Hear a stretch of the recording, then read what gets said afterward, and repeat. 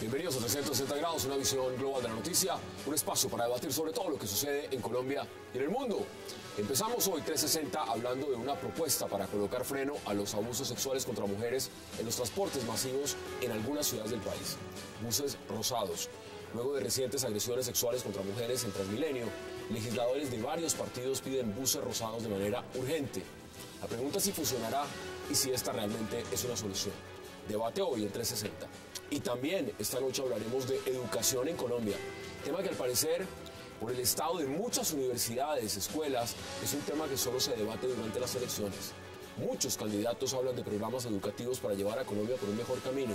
Sin embargo, se denuncian muchos problemas en ese campo, la educación. ¿Qué pasa con la educación colombiana? Tema hoy en 360.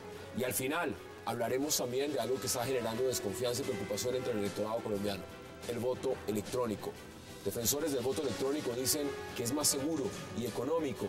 Sin embargo, sus detractores dicen que trae corrupción sin límites y garantiza dictaduras democráticas. ¿Debe Colombia entrar con el voto electrónico? ¿Sí o no? Debate hoy con nuestros panelistas en 360 y no se muevan, que ya en segundo le damos la bienvenida a nuestros invitados.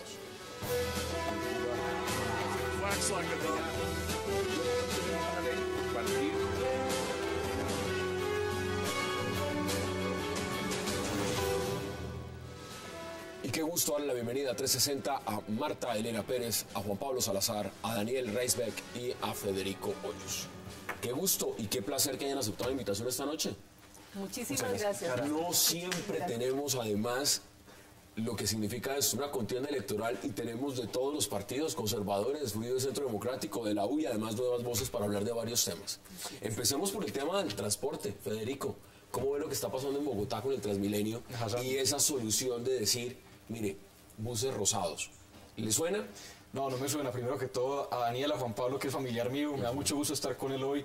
A la profesora Marta, hombre, gente nueva, qué bueno. No me suena lo de buses rosados. Mire, uno no puede legislar casuís- casuísticamente, o sea, porque, por un caso particular. Abusos sexuales terribles, pero lo que hay que generar es conciencia ciudadana. Ir al problemas de fondo. Problemas de fondo de Bogotá es movilidad. Un no, Transmilenio no es suficiente. Un metro para la ciudad. Pero definitivamente uno legislar por casos puntuales, no. ¿No?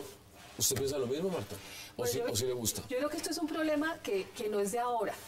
Desde hace mucho tiempo en el transporte urba- urbano esto se da y se da contra las mujeres y se da de una manera muy fuerte. Yo me acuerdo, No solo en Colombia. eh, compartía con alguien hoy y le decía, yo desde chiquita me acuerdo que uno salía y tenía que cuidarnos los padres porque los señores eh, con gabardina no tenían problema en abrírsela, ¿no? De tal manera que eso se viene dando de- desde hace mucho tiempo. Ahora, los buses rosados está bien, si uno quiere elegir un bus rosado y eso le facilita más la vida a una mujer, está bien. Pero las mujeres realmente estamos siendo víctimas de un maltrato eh, continuo y permanente de un abuso en el Transmilenio. Y no hay nada ni nadie, esto no es nuevo, esto se viene presentando desde que el Transmilenio arrancó. Y sin embargo, hasta ahora, las voces de los políticos tradicionales salen a decir que hay que hacer algo. ¿Cuándo- ¿Cuánto tiempo llevan ellos legislando? ¿Cuánto tiempo hacen que están en el es un Congreso? tema distrital, es un tema de Es un- legislación, es es un, tema es un- de policía. No, no es, un, tema, de policía, cultural. es un tema de educación. Es un tema de educación, porque a la gente hay que educar, a los hombres hay que educarlos en la relación con la mujer. Hay que educar desde los niños, hay que educar a los jóvenes, hay que cambiar el imaginario de la gente en esa relación Entonces el hombre-mujer. problema, el problema, como usted lo plantea, con buses rosados no se resuelve. No, no se resuelve con buses rosados. Si hay, pasa un bus rosado yo lo quiero coger y lo puedo tomar, es porque puedo elegir tomarlo, no porque me sienta más segura. Eso no lo soluciona el problema. Juan Pablo, ¿usted qué dice? ¿Cómo lo ve esa propuesta? Yo creo que es un problema cultural eh, y el tema de los buses rosados me parece que es rendirse. Eh, no podemos segregar. Si, si, mi- si mis banderas son la inclusión, ¿cómo vamos a tener un bus rosado para las mujeres y uno entonces para los negros y otro para los judíos y otro, me, me parece... Y luego que viene, además, ¿no? Entonces taxis también para mujeres. o- Exactamente, exactamente. No, me parece que nos toca trabajar en educarnos y en, y en hacer cambios culturales contundentes para que no, no nos toque caer en acciones afirmativas que, que se vuelven es como pañitos de agua tibia. Daniel, ¿y usted qué dice? Sí, no puede haber segregación en un sistema como Transmilenio, porque exacto, entonces después, ¿cuál otro, ¿a cuál otro grupo se les da un, un bus especial? Pero yo sí creo que sí es problema de seguridad, falta pie de fuerza en, en los buses de Transmilenio. Eh, la policía, desafortunadamente, por culpa de la guerra contra la droga, que se ha perdido, eh, le tocó volverse en los 80 y en los 90 una fuerza militar para perseguir a personajes como Pablo Escobar, eh, Cartel de Cali, etcétera. Entonces la policía dejó de cumplir su labor que, que le da la Constitución, que es una labor civil, y, y se volvió una fuerza militar. Entonces, por eso yo propongo legalizar la droga completamente, nos ahorraríamos 7 mil millones de dólares y la policía podría eh, cumplir su función original, que es eh, estar en las comunidades y proteger a las personas en las ciudades y en el campo eh, y no perseguir a, a narcotraficantes. no estar en ese tema. Mire, el tema también es el siguiente. Hay que buscar soluciones ya, porque es que el manoseo está ahí, lo estamos viendo. Yo me quedé aterrado, hasta encontré unos blogs de manoseadores y publican los videos de cómo lo hacen. Es algo macabro, vergonzoso, y, y realmente eh, de fondo estamos viendo las imágenes de lo- también lo que es una estación de Transmilenio en hora pico. Realmente es multitudinario. Eso que estaban viendo los televidentes en estos momentos justamente sacado extractos del blog del abusador y cuenta los relatos de cómo hace lo que hace.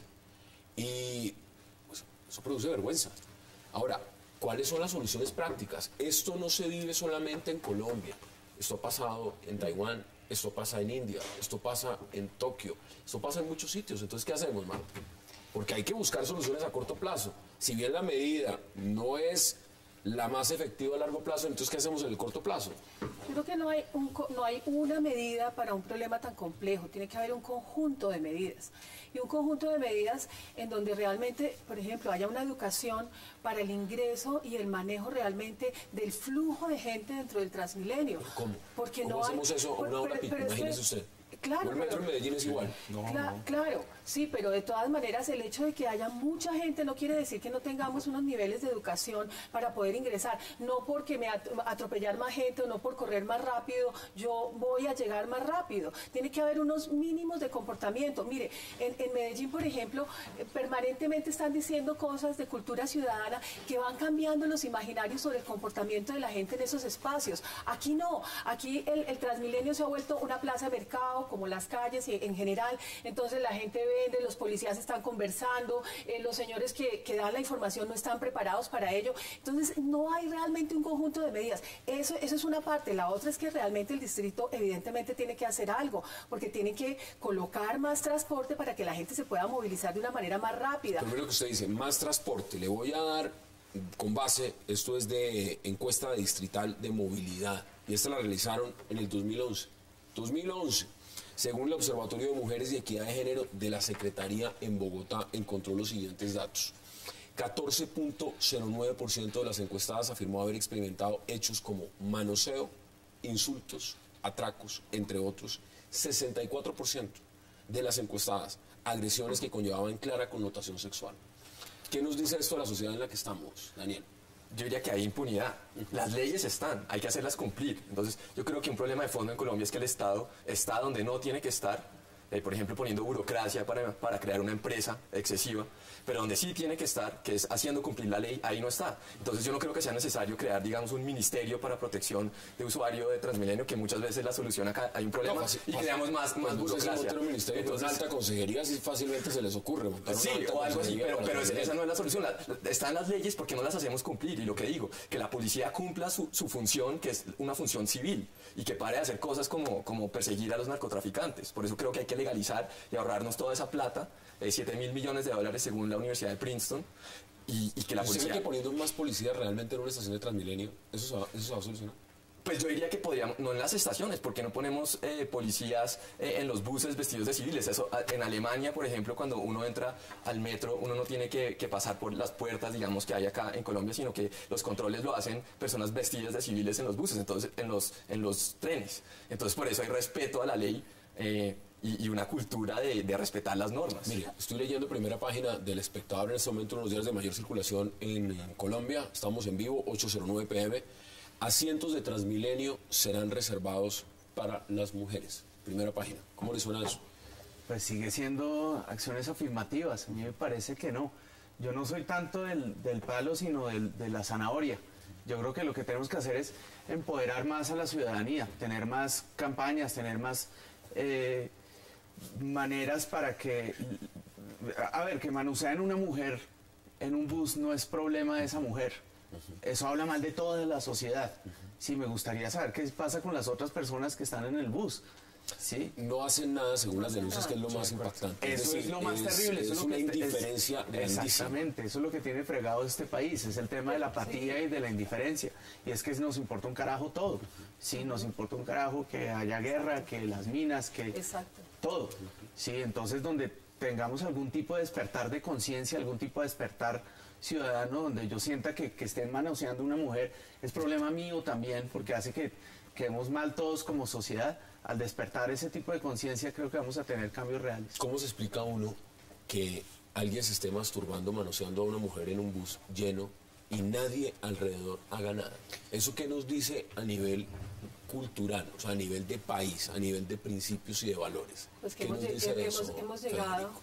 No, mire, primero que todo es que a la señora que la están manoseando todos los días, a la niña que tiene miedo de montarse, ella quiere que le dé una solución rápida, no que importen buses rosados, que los pinten y luego que tenga que esperar a que pase el bus y no que, espere y no que pase el Transmilenio normal. Y, y además los costos que Ella, genera. sí, ella quiere, ella quiere soluciones rápidas. A mí Daniel dice una cosa interesante. Qué bueno poner policías dentro de Transmilenio, uniformados o de civiles, pero que haya autoridad dentro del Transmilenio. Esa es una medida inmediata. Segundo, en vez de gastarse la plata que proponen comprando buses rosados, haciendo todos estos gastos, pues más bien simplemente hagan una buena campaña agresiva diciéndole no soy indiferente, proteja a las mujeres. Entonces es más fácil generar cultura y seguridad que estar diciendo electoralmente, porque son promesas electorales. Traigamos buses de colores. Un bus para los negros, como decía Juan Pablo, otro para las mujeres. Y sí, etcétera, etcétera, etcétera. Las soluciones no están únicamente en el caso puntual. Las soluciones de las políticas públicas tienen que ser de fondo, pero al tiempo tienen que ser inmediatas y rápidas. Debe sus conclusiones porque vamos a ir a la pausa y tenemos un gran bloque para hablar de educación en Pues Colombia. estoy absolutamente de acuerdo con Juan Pablo. Esto es, hay una indiferencia realmente muy profunda en cada colombiano. Y yo lo que percibo es que mientras le pase al otro, pero no me pase a mí, entonces no veo nada.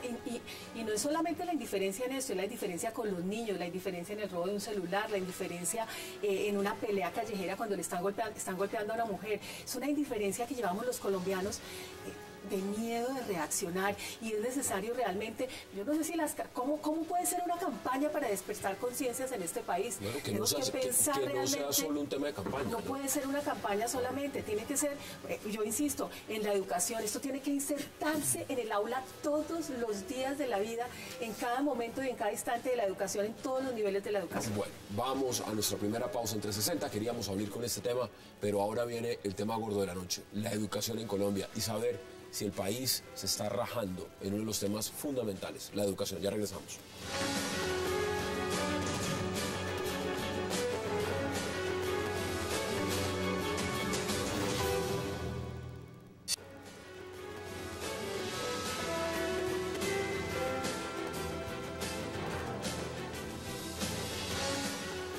Regresamos a 360 y vamos a hablar ahora de educación. Pues la educación es uno de los temas también de campaña. Este gobierno pues, propuso muchas reformas. Me refiero al gobierno del presidente Juan Manuel Santos. Reforma de salud, reforma de la justicia. Otros plantean, candidatos están diciendo que se va a hacer una reforma del sistema electoral. ¿Dónde está el tema de la educación? ¿Dónde está el tema de la educación, Daniel? ¿Y cómo estamos en educación en Colombia y si es necesaria una reforma en la educación? Pues la educación está fracasando, esto es claro. Eh, en las pruebas PISA del año pasado, que miden eh, 65 países, quedamos de 62 en matemáticas y lenguas y ciencia. Entonces, claramente hay un fracaso en la educación colombiana. Yo creo que en gran parte es un fracaso del Estado. Entonces, eh, no creo, algunas personas, sobre todo en la izquierda, están diciendo, no, faltan más fondos para, para la educación, más recursos. De hecho, el año pasado, eh, el rubro más grande del presupuesto nacional fue educación. Entonces, yo no creo que sea tanto una cuestión de fondos, sino de ejecución, de calidad. En Bogotá hay un programa que ha funcionado muy bien, que son los colegios en concesión, que son proveedores privados que prestan un servicio público de, educación. Son 25 colegios en zonas de bajos recursos, eh, administrados por eh, proveedores de alta calidad como la Alianza Educativa, por ejemplo han funcionado muy bien y en este momento están en peligro bajo la admi- administración del alcalde Gustavo Petro, que, que no quiere renovar los contratos por presión de los sindicatos, por cuestiones ideológicas. Entonces yo creo que lo primero que tenemos que hacer es O sea, salvar... ¿El tema está politizado en su opinión? eh, pues ha perdido un poco de atención porque ahora la administración se está defendiendo, entonces no le está poniendo eh, atención a estos temas. y entonces pues yo creo que los, gran, los grandes perdedores somos los ciudadanos y yo estoy muy preocupado por el futuro de esos 39 mil estudiantes de los colegios en concesión. Entonces, yo creo que tenemos que salvar ese modelo, eh, expandirlo en, en, Bogotá y a nivel nacional, porque si llegamos a un, a un nivel de 10% o 15% de colegios en concesión, eso es bueno no solamente para esos estudiantes que están recibiendo excelente educación con buenos proveedores, sino que también al Estado le toca competir. Bueno, Entonces, cuando, hay competa- cuando cualquier monopolio es malo, ya sea privado o sea, a verlo o por sea público. no solamente lo público y privado, sino también a nivel institucional, ¿no? Juan Pablo, usted va al Senado, aspira al Senado. ¿Cómo ve el tema de la educación? Está grave. Eh, yo sí creo que es un tema de inversión, entre otras cosas. Tengo entendido que es el 3% del PIB el que se invierte en educación, creo que es, es nada. No estamos pensando en el futuro. Un país como Brasil invierte el 12%. Eso es cuatro veces. O sea, ellos están pensando que les parece importantísimo el futuro de Brasil. Eh, Cuba invierte el 13%. Entonces, creo que, que Colombia debería invertir más. Pero más que eso, me, me gustaría eh, ver una reforma donde entendamos la educación no como un servicio, sino como un derecho. De esa manera, pues vamos a impulsar una nueva generación que va a poder reinventarse. ¿Hoy la, este hoy la ve usted la educación excluyente en Colombia? Es Sí, decir, sí. es- hay unos que tienen el privilegio de recibir esa educación y otros que no. Absolutamente, absolutamente. Pues se notan los resultados, por ejemplo, de- del, del bachillerato. El ICFE son todos colegios privados. Luego en educación superior yo creo que sí hay cosas importantes que hace la Universidad Nacional, pero de resto el que puede pagarla eh, tiene un- una buena educación y el que no, no. Eso hace que los círculos de pobreza y los círculos de desigualdad que son tan terribles en este país sigan. Eh, pero no solo ese tipo de exclusión, sino exclusión también para el tema de, de discapacidad. Eh, si bien acá tenemos teorías de educación inclusiva, uno va a la práctica y los profesores no están capacitados para atender a pelados ciegos o pelados sordos o pelados... Es la menor idea. Eh, exactamente, entonces los, los pasan y se terminan grabando sin, sin aprender nada. Entonces hay que trabajar también en, en mejorar eh, la, la inclusión, la, la parte de educación. ¿Nos estamos rajando en educación? Totalmente. Yo creo que la ministra perdió el año. La ministra perdió el año por muchas razones. La Uno, ministra sigue ahí en el cargo. Sí, pero perdió el año. Eh, como hoy en día que los estudiantes pasan de un año a otro por la promoción automática, pierden el año. Ella puede seguir, pero que perdió el año lo perdió.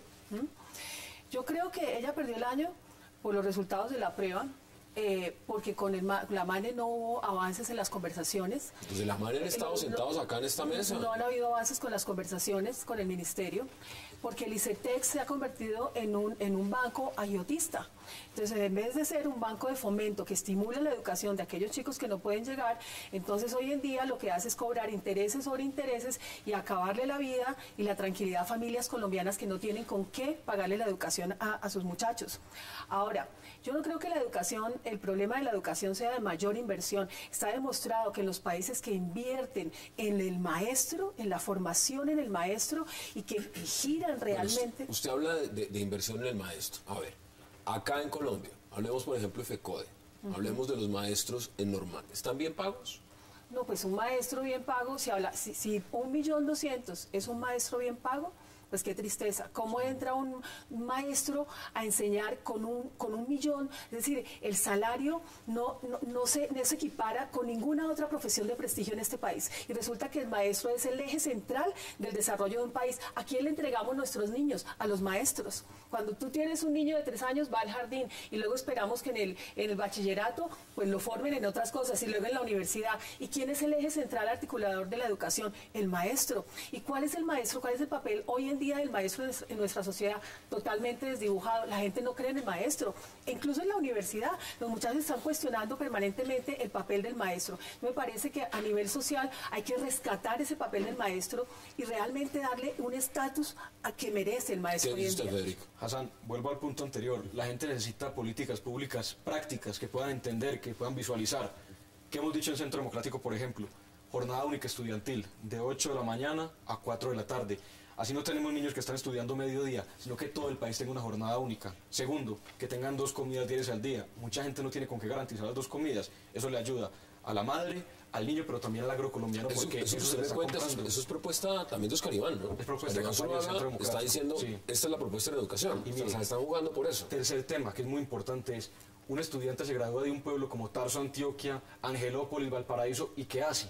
¿Para dónde se va si en el pueblo no hay industria, no hay fábricas, no hay nada? ¿Hay un restaurante del pueblo o está la alcaldía? ¿Qué hace? No tiene mucho que hacer. ¿Qué hemos dicho? Que el SENA capacite en grados décimo y once los estudiantes para que salgan con la tecnología. Y por último, uno prende esos televisores y va viendo propaganda del gobierno frente a una cantidad de temas. Y hago una pregunta, ¿dónde está la propaganda del Fondo Emprender? El Fondo Emprender de Sena tiene 50 mil millones de pesos para prestarle a los, eh, a los estudiantes menores de 26 años para montar empresa. Si la empresa es productiva, es condonable el, el- es condonable, el- el crédito. ¿Por qué el gobierno no le hace énfasis a eso? ¿Por qué le hace tanto énfasis a otros temas propagandísticos y no lo que realmente importa? Y termino con esto.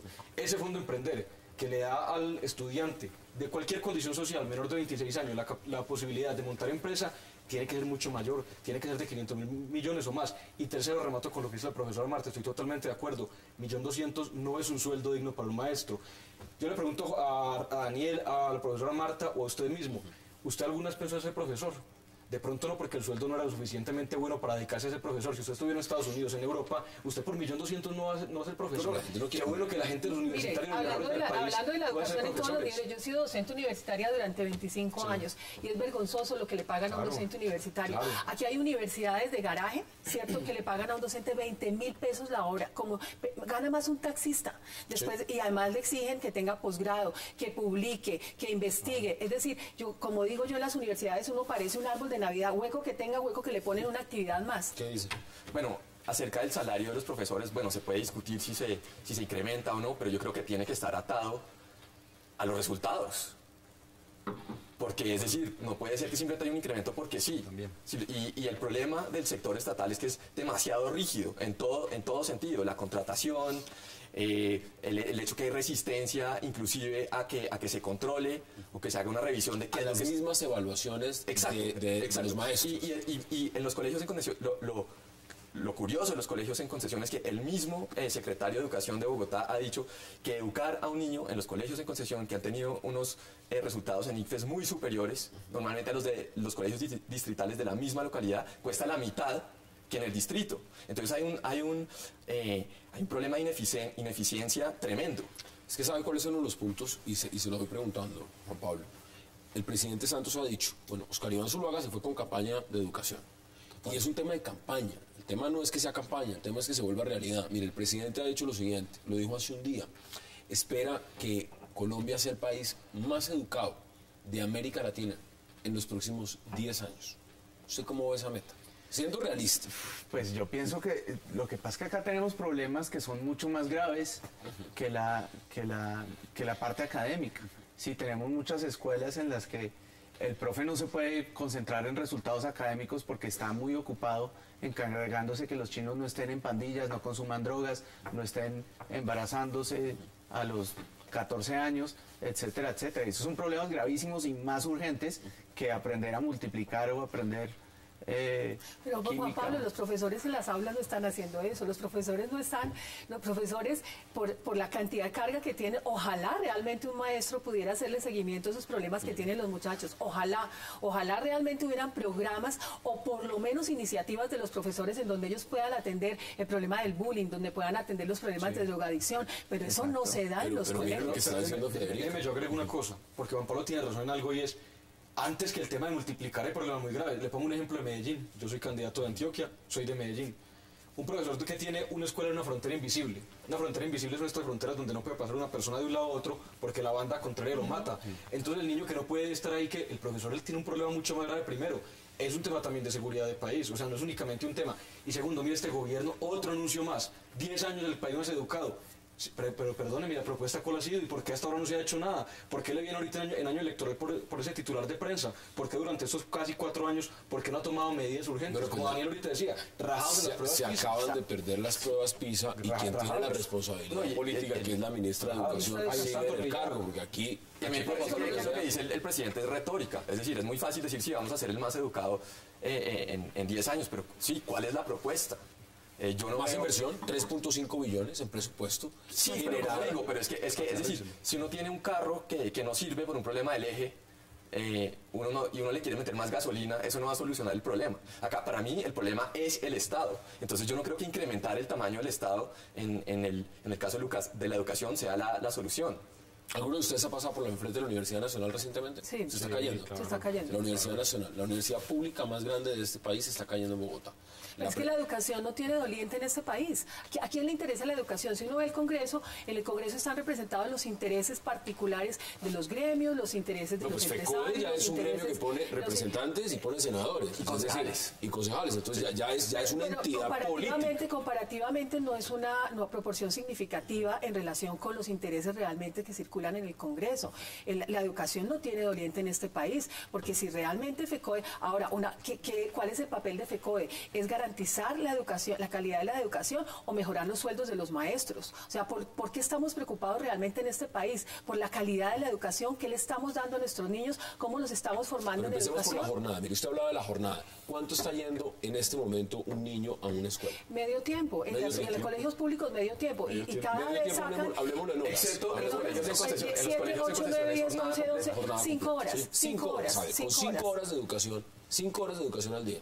Cuando en otros países son 8 horas. Ocho horas. ¿Cómo se puede esperar que, los, que colo- niños colombianos pasen las pruebas PISA en los primeros lugares si se está yendo es media jornada? Pero Hassan, es que las- los resultados de la prueba PISA no corresponden solamente a los colegios públicos. Ahí en esa misma maleta están metidos los colegios privados. Peor Lo cual aún. quiere decir que la gente está pagando y está convencida que está pagando por educación de calidad y es mentira. A usted le dice bilingüe, paja, ahí no le van a enseñar inglés nunca. Al chino le toca ver usted cómo soluciona la cosa para mandarlo. En los colegios privados le exigen unos niveles altísimos de matemática, de ciencias. El niño no lo logra, a usted le toca ponerle profesor particular Aparte de la para clase. que aparte de la, de, la, de la clase normal y usted paga un burgo de plata. Entonces, ni en lo público ni en lo privado. Hay que meterle a la educación. Este país no lo cambia, no lo cambiamos, sino igualando la calidad de la educación. El niño que está en la escuela de Antioquia, no sé dónde, y el niño que, estudia en Nueva Granada tienen que tener la misma calidad de educación. ¿Por qué un niño tiene mejor calidad que la otra? Ahora, cuando dicen que los colegios tienen que tener jornada completa, la bandera siempre es que no hay plata, que no hay de dónde, pero para, para, para, para robarse la plata sí la hay, ¿cierto? ¿Cuántos billones se están para robando? sí ¿Cuánta plata? Y Para- para las consejerías y para, el- el- y para las armas en este país hay plata. Bueno, bueno, Pero, vamos eh, a debatirlo. Tengo que ir a la siguiente pausa y ya regresamos a 360. Vamos a la pausa.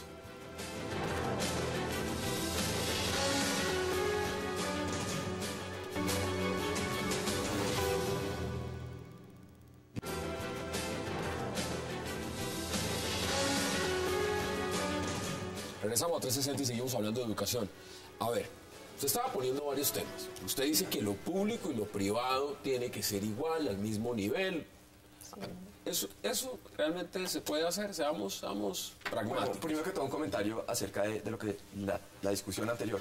La jornada única sí es un, es un buen paso, pero solamente por alargar el tiempo escolar no significa que va a haber buena calidad. Entonces, eh, Si no se los van a dejar ahí clases encerrados, Sí, sí, La misma pésima calidad no va a ayudar absolutamente nada. Puede que lleguen a la casa más tarde, etcétera. Bueno, y lo otro es que el simple hecho que haya colegios privados en zonas de, de bajos recursos es una condena eh, muy clara al sistema de educación público porque la gente no confía en el Estado y está dispuesta a pagar eh, poco eh, y de lo poco que tiene puede que sea por simplemente, simplemente por seguridad, porque se siente más seguro eh, que su hijo vaya a, a un colegio eh, privado, pero eh, también porque, porque siente que por lo menos tiene control sobre la educación de, de su hijo. Si el privado no le está funcionando, pues lo pasa al otro. Lo cambia. Exacto. Mientras que- ¿cuánto y- un cuánto gran- un gran problema, un gran- un problema del sistema público es que el padre no puede escoger. El Estado o el distrito le dice, mire, su hijo tiene que ir a ese colegio.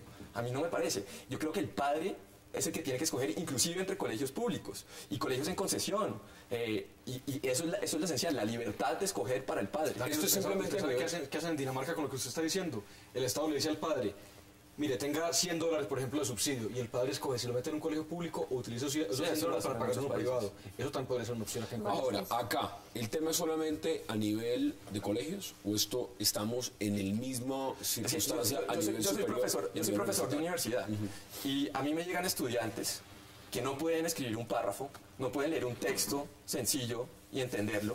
Entonces la universidad también se está volviendo los primeros dos años de universidad, es como un repaso de lo que tienen que hacer en el colegio. Entonces afecta, afecta todo el, Pero, afecta, pero si hay una todo el diferencia significativa, Entonces- si hay una diferencia entonces- significativa entre... Yo acabo, eh, eh, pasé por 13 años por una muy buena universidad en Bogotá y pasé a otra universidad que atiende muchachos, muy buena también, pero atiende muchachos de otro nivel económico. Y realmente lo que uno ve es que los chicos que le llegan a uno de los colegios distritales llegan con unas falencias enormes. Es decir, es que no saben leer, no saben escribir, no saben hacer un resumen, etcétera, etcétera. En el colegio, los colegios privados, no todos los colegios privados, porque ahí también empiezan los estratos. Es que esto es una sociedad estratificada para todo, ¿no? Hay privados Para la estrato salud 2, es igual. hay- y- exacto, hay privados estrato 2 y privados estrato 6, hay, eh, hay, hay- hay públicos más o menos, eh, hay en concesión, hay otros que son públicos públicos. Es decir, esto es, es, es increíble lo que pasa en este país. Nosotros somos todos los que estamos aquí en la mesa ciudadanos colombianos. porque un niño se tiene que someter a una estratificación? ¿Qué le resta a un niño para no ser un niño igual, el tuyo o el mío en este país y tener que recibir una educación pobre en este país? ¿Por qué? Bueno, el, el tema también es, veámoslo en la perspectiva, una mala educación, una mala educación. Eso es un país donde aquí no hay patentes. Aquí no hay candidatos a ningún tipo de premios internacionales en ciencia y tecnología. Aquí el tema de las ingenierías, las ciencias, bueno, pero son muy pocos. Pero son Es que- es que contados son- con la mano y te contados, quedas, son contados contados. con una Es decir, cuando uno ve lo que pasa acá es la mayoría de la inversión que se hace en educación va a ciencias sociales, carreras que a futuro no tienen una gran competencia a nivel eh, mundial, tampoco muchos tienen capacidad en maestrías, especializaciones y mucho menos en doctorados. Ajá. Ahora, eso pasa lo mismo con los profesores. ¿Usted cree que el tema también es de falta de inversión en ese campo? Es parte de falta de inversión, pero también es el modelo que tenemos, que el modelo lo que busca es la, la productividad, o sea, estamos educando gente para que haga oficios, eh, no, en las, no en construcción de, de conocimiento, si no tenemos eh, físicos, ni matemáticos, ni, No y además no quieren ir a estudiar esas carreras. y- y- pero luego también la parte de inversión. ¿Cuántos invierten en investigación en Colombia para ese tipo de cosas? Entonces, sin duda, es... es- En fondos, ¿los maestros sí están preparados? Federico, ¿usted cree que los maestros, y, y- y volvemos al mismo tema, aquí dice usted, Marta, que le- eh, por ese salario les están pidiendo mucho, pero ¿tienen maestrías? Porque lo que se ha podido investigar es que muchos de los que están dando clase ni tienen maestrías, ni tienen especializaciones, ni tienen muchas veces doctorado. Sí, sí, mire, Hassan, yo creo que el país se ha venido incorporando. Esto es una cosa nueva. El cuento de los doctorados, esto es nuevo en el país. Realmente los doctorados son contados y las maestrías igual. hay universidades que usted, usted va a la. Universidad de los Andes, por ejemplo, y usted quiere ir a una maestría, tomar una maestría, usted inmediatamente, cualquiera de los profesores que están en esa universidad, tiene mínimo que tener maestría, o Maestría, doctorado. pero por supuesto. Si no, no puede dar clase. Por, por supuesto, pero es que mire, de, de, mi- de más de mil programas de maestría en el país, solamente 16 programas están acreditados con acreditación de alta calidad.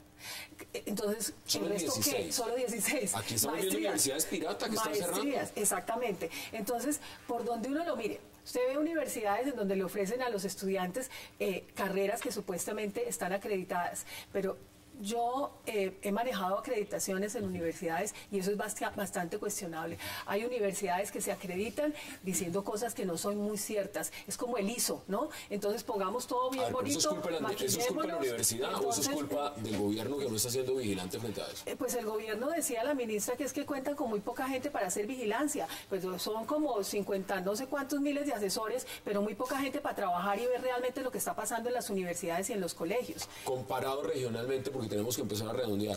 ¿Cómo cree usted que estamos? No, mire, primero, yo me sueño un país donde los universitarios de la universidad pública y privada quieran ser profesores de colegios públicos, de colegios privados, que quieran poner al servicio todo lo que aprendieron durante 5, 8 años de, de estudio de posgrado, de pregrado, al servicio de la, de la, de la comunidad. ¿Cuánto, vale, eso. ¿Cuánto vale una maestría, por ejemplo? Una maestría, un MBA vale 100 millones de pesos, 100 150 millones. millones, de Imagínense, pesos. 100, o sea, si lo ponemos Tiene que ser un buen 50 sueldo. mil, Tiene que 60 tener un buen sueldo. Ese es un primer punto.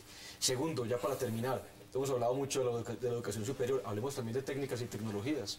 No todo el mundo tiene por qué tener un, título universitario. Qué bueno que haya más tecnólogos, que haya más gente capacitada en diferentes oficios para que salga del colegio directamente a montar empresa con el fondo Emprender o emplearse directamente acá en este canal como productor audiovisual, como lo que sea, que tengan tecnologías, que sea un país amplio. Y tercero, Hombre, Internet, que la gente pueda tomar clases online, que pueda tener cursos, que las grandes universidades puedan ofrecer cursos online para la, para la gente de los diferentes Pero municipios. mira lo que pasa en la comunidad europea. Usted va y hace una maestría, le puede costar mil, dos mil dólares, tres mil dólares subsidiados.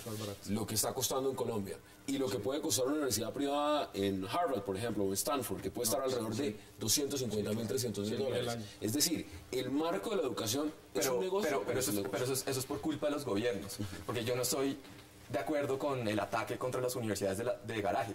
Muchas de las buenas universidades, inclusive del país, empezaron como una universidad de garaje. Empezaron en una casita o en algún lugar pequeño y fueron creciendo porque estaban ofreciendo un producto de calidad. Entonces, si la gente quiere pagar ese producto, el gobierno, ¿por qué tiene que intervenir? Es decir, tiene que haber libertad de mercado en ese sentido No, también. no, no, no, y el hecho que el gobierno... pero es que no pueden haber universidades de garaje decir que las universidades de garaje, bienvenidas las No. universidades de garaje, no, sí, pero... sí, porque la gente, la- es decir, es un mercado o hay gente que está trabajando y estudia de noche y la gente está pagando esas universidades porque les está ofreciendo Una un cosa es cuando usted va a comprar en un supermercado y usted elige comprar en el supermercado A o B, pero otra cosa es la educación de la gente. Es que no estamos hablando de un producto cualquiera, estamos hablando de la Ah, formación. ¿La educación en Colombia no es un negocio?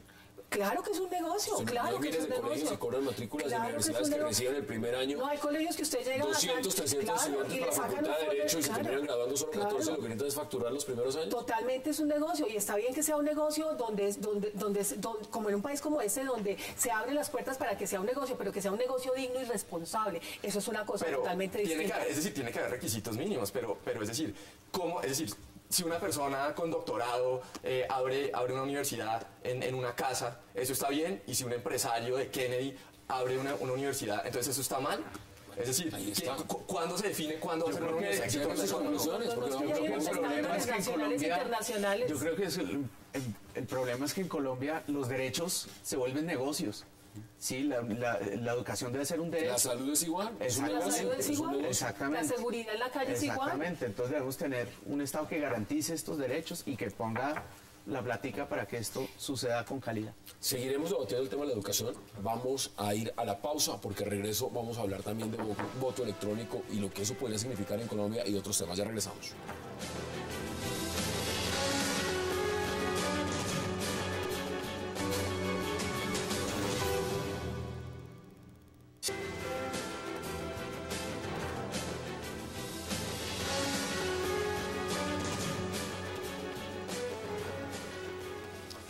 360 y vamos a hablar en la recta final del voto electrónico. Juan Pablo, ¿usted se sentiría cómodo yendo a las elecciones con voto electrónico? Pues depende de la tecnología. Yo creo que si está A bien le voy a dar la tecnología de punta, la mejor tecnología que hay. la pues si funciona así. ¿Sí? Si usted se haría una cirugía láser en los ojos, pues depende del láser. Sí, sí, pues, Entonces lo haría. si funciona bien, Si claro, funciona, pienso que el mundo no, le, no le- no le da temor, digamos, el tema de la manipulación o eso que pueda pasar, que es uno de los, los que critican el voto electrónico, están diciendo, mire, eso nos puede generar, es muy fácil la manipulación. Pues yo pienso que la corrupción existe con o sin tecnología. Eh, apuntémosle a inventarnos bien una cosa y yo pienso que, que debemos llegar a una tecnología que, que blinde eso. Y, y Pues para mí el asunto de fondo no es voto electrónico o voto no electrónico, sino quién es el árbitro. ¿Es un Estado confiable, transparente? ¿O es un Estado clientelista que utiliza la maquinaria para hacerse elegir? Bueno, que puede, ver, que puede le voy a hablar, le- usted, usted acaba de lanzar ah, las, las señales. Este, este Estado, el Estado colombiano, con voto electrónico, ¿a usted le gusta? Pero se supone que el, el ente que controla eh, las elecciones es independiente. Pues el ente de la, re- el ente de la Entonces, registraduría. la entonces, ciudadanía, la eh, eh, es decir, bueno, buena pregunta. Yo sí le digo. Eh, pero yo creo que igual, igual puede haber fraude Mire, con, mire, con, vamos- voto electrónico mire, puede haber fraude. Un ejemplo, un ejemplo. Usted está por el Partido Conservador. Sí. El Partido Conservador tiene encabezando al señor Gerlain, que lleva en el Congreso décadas. Sí, creo que no está muy contento con mis propuestas. Bueno, bueno, no debe estar muy contento, pero evidentemente ahí está. Muchos cuestionan cómo se mantiene tanto una persona en el Congreso. ¿Usted cree que a senador Gerlain le gustaría el voto electrónico? Pues hay que preguntarle a él, no sé, eh, es decir, si es cuestión, yo, yo no sé cómo se ha mantenido, francamente, él en el poder, pero si es cuestión de, de que tiene, digamos, la maquinaria, la maquinaria va a funcionar A con ver, el voto electrónico o sin el voto electrónico, entonces, eh, ¿Qué no, cree? No, Hassan, mire, yo, pues, Juan Pablo y Daniel, yo, admirable los dos, pero uno en política tiene que ser claro. Tiene que ser claro. Voto electrónico no. No, Mira lo que usted, sea, usted en este pasando. momento, usted no se siente cómodo, usted, usted está mirando la cámara. Necesito esta frase de Bill Gates. Bill Gates decía, todo digital menos la democracia. Todo digital menos la democracia. Primero, hablemos del árbitro. El árbitro de la democracia es también la ciudadanía, testigos electorales, con voto electrónico. ¿Quién sería el, quién sería el árbitro? Segundo, yo estoy de acuerdo. Eh, al senador Gerlein o a muchos otros que pronto son de voto amarrado no les gustaría el voto electrónico porque es un voto de maquinaria. Y yo le digo una cosa, ¿es posible hacer corrupción con la, con la votación con la que tenemos hoy en día? Claro que es posible, pero en mucho menor medida que con voto electrónico. Un senador corrupto, un político corrupto se tumba un puesto de votación, se tumba un lugar de votación, pero no se tumba todo el- todos los puestos de votación. El voto electrónico sí. Tercero, mire lo que pasa en Venezuela. Mire lo que está pasando con los estudiantes. Mire el gobierno ilegítimo de Maduro. Van Mire un 17 elecciones ganadas, mire un gobierno donde, ¿cómo votaban? Y mostraban ahorita el video. Usted iba eh, a la cabina electrónica, ponía el voto, ponía donde le gustaba en, el- la pantalla y luego le salía una, una balotica que le decían, usted votó por Maduro o por Capriles. Y esa balotica la depositaba. Cuando le dijeron a la registraduría venezolana, al CNE, Consejo Nacional Electoral, hagamos el recuento de balotas y de, de votos electrónicos. No quisieron. No, pues es que es una forma Tibisay Lucena dijo, a mí no me toque ese eso, tema, Por eso, es una forma facilísima de robarse las elecciones. El voto electrónico definitivamente no, señor. Bueno, usted también aspira al Senado. ¿Le gusta el voto? ¿Se sentiría tranquila con el voto electrónico? No, para nada, para nada, y menos en un país como este, para nada.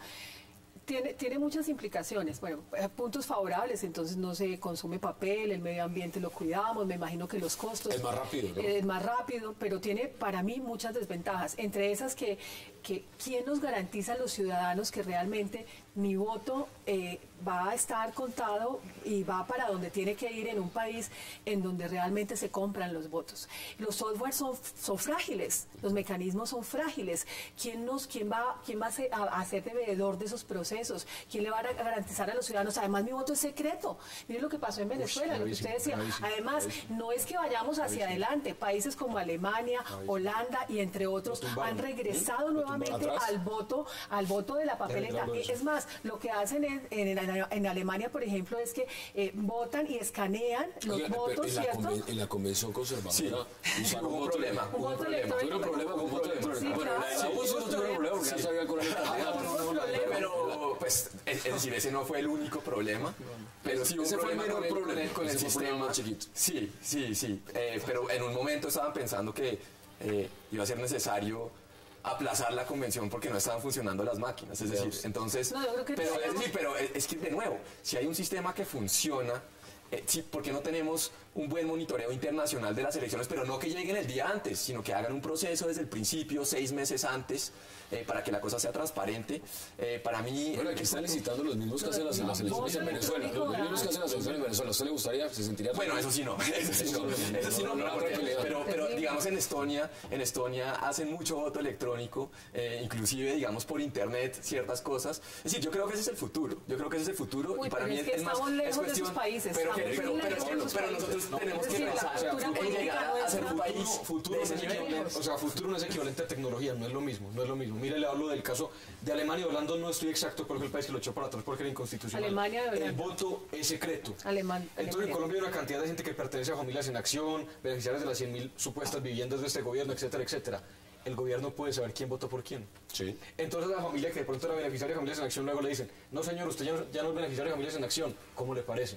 La gente, o sea, el gobierno puede tener acceso a saber quién está votando a favor Bueno, de con el tema de la revocatoria también llenan las planillas. Usted sabe quién, quién, vot- quién quiere revocatoria y quién se- no, ahí ¿no? se- Claro, y eso no es pero electrónico, eso no es, electrónico, es decir, un plebiscito de ese tipo que usted pone la firma, eh, que según entiendo eso es lo que fue, lo que pasó originalmente en Venezuela, eso no era electrónico. Era una y cosa que entonces el, el problema, el problema es el Estado, eh, si es un Estado autoritario, pues va a utilizar, va a utilizar esos, esos datos para pues beneficiarse y, y castigar a sus enemigos. Entonces el problema para mí no es tanto, y yo entiendo muy bien los puntos, ustedes creo que son buenos puntos, pero, pero para mí en esencia es eh, qué tan transparente es el Estado. Y esa debe ser la, la preocupación. ¿Cómo tenemos un Estado transparente? No cuáles son los métodos que utiliza eh, en, en ciertos casos electorales. Este sistema que tenemos actualmente, este sistema que es muy permeable, hay mucha corrupción, hay cartel de la mermelada denunciado en este, en los demás y en todos los gobiernos.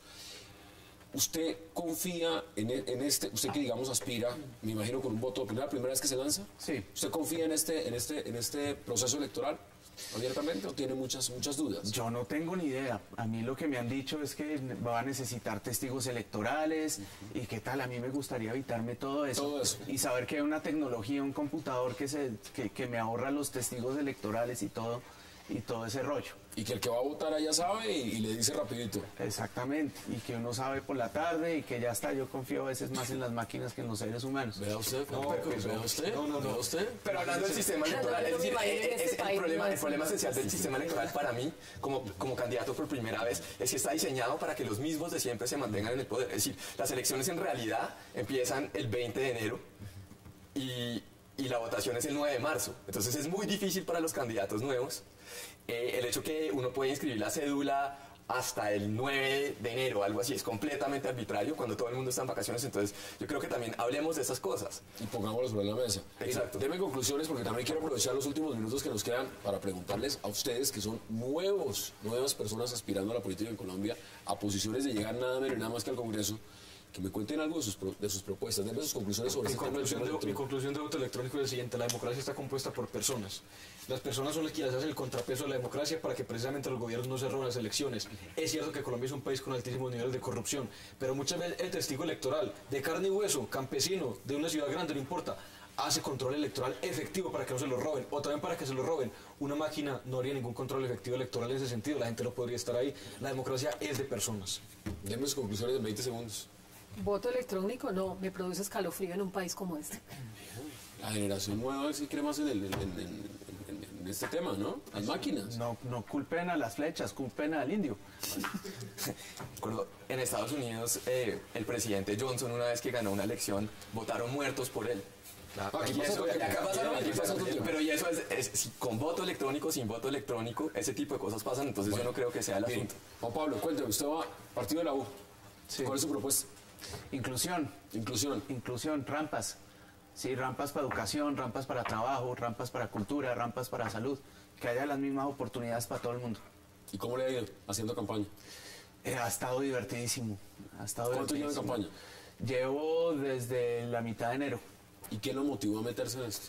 Pues hombre, que yo creo que el país está en un momento histórico y que yo tengo un trabajo social y, y es hora de pasar al tablero, llevar esto a un escenario más ¿Es grande. consciente, todos ustedes son conscientes del gran desprestigio que tiene el Congreso en este momento?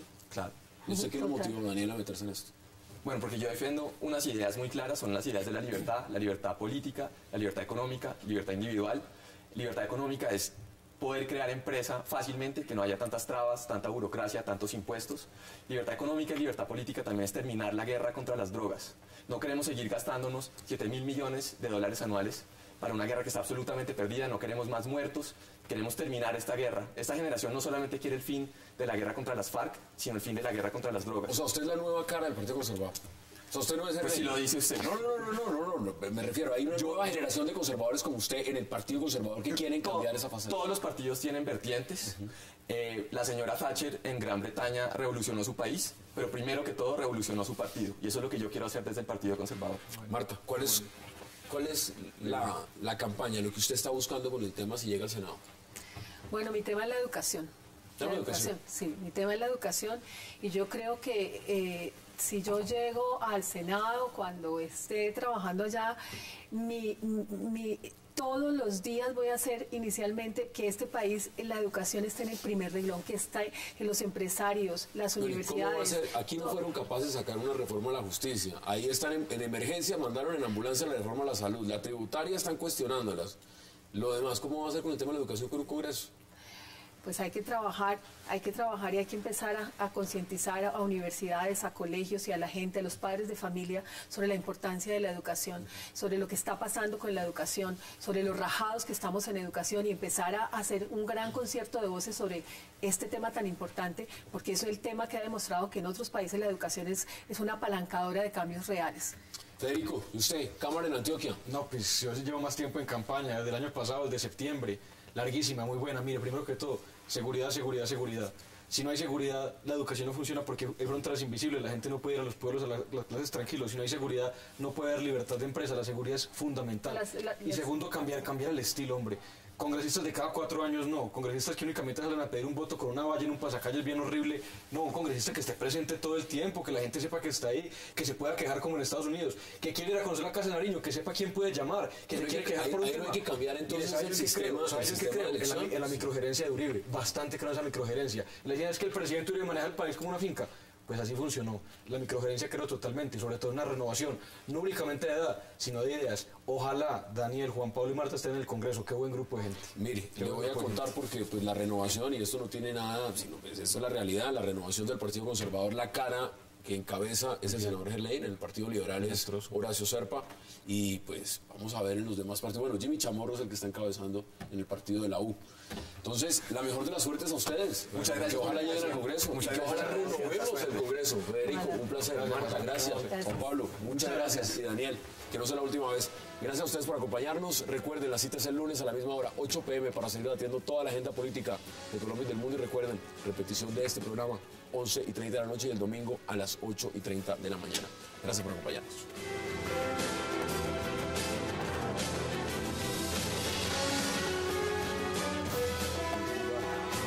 Wax like.